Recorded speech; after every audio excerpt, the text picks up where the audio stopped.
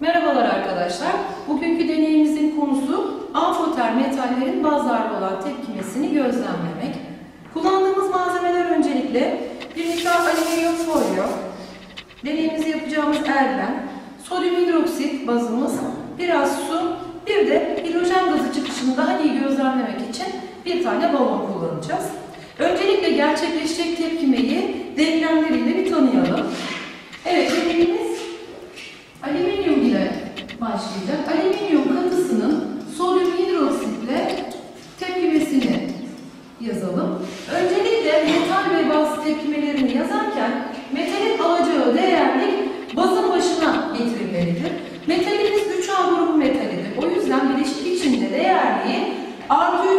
3 olmalıdır. Bu nedenle değerliğini bazın başına yazdım.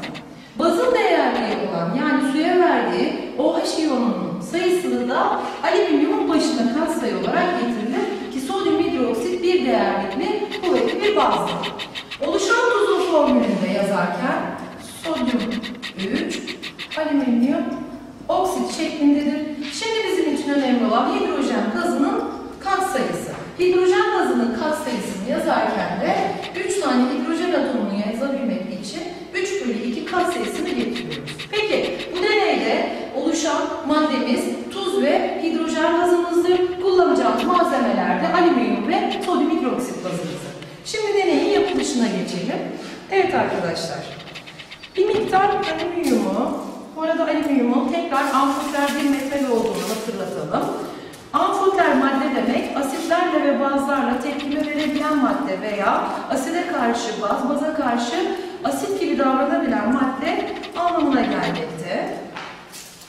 Onun için alüminyum hem asitle hem de bazla reaksiyon veriyor. Şimdi bir miktar alüminyum folyoyu ellerimize koyduk. Sodyum hidroksit bazımızı da ilave edelim içine.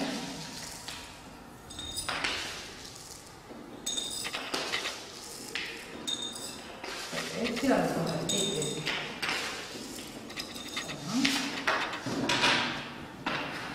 Şimdi bir miktar suyla sodyum hidroksiti çözüp reaksiyonun başlamasını sağlayalım.